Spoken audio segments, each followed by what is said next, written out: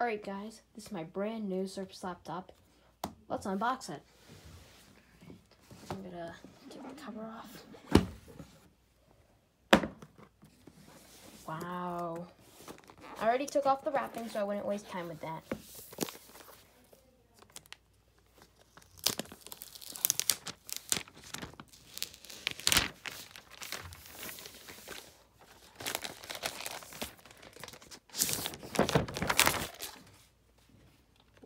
It's so nice and glossy.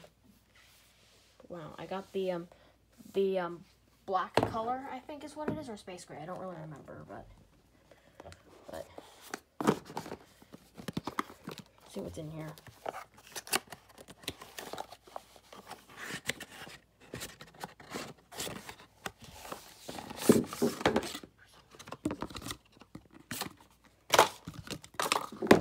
power cord with a USB adapter on it.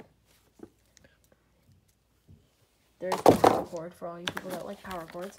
And for all you guys that are a fan of instruction manuals, I'm not because I already know everything that, that's in here. Anyway, here's the Surface Laptop manual.